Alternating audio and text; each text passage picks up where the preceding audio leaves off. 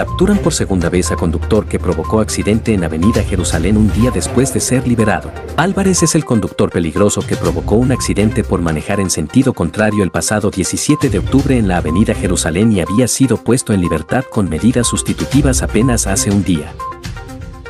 La Policía Nacional Civil, PNC, informó sobre la captura de Felipe Carlos Álvarez durante la madrugada de este sábado en Zaragoza por el delito de resistencia. Álvarez es el conductor peligroso que provocó un accidente por manejar en sentido contrario el pasado 17 de octubre en la Avenida Jerusalén.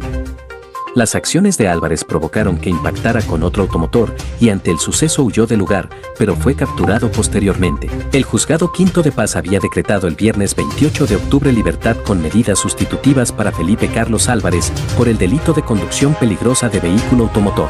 Las medidas decretadas por el juzgado son que el imputado no podía salir del país, debía firmar cada 15 días al juzgado, no puede conducir carros y tiene prohibido ingerir bebidas alcohólicas.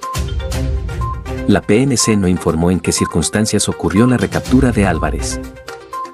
Me gustaría saber cuál es tu opinión sobre esta noticia, opina en los comentarios.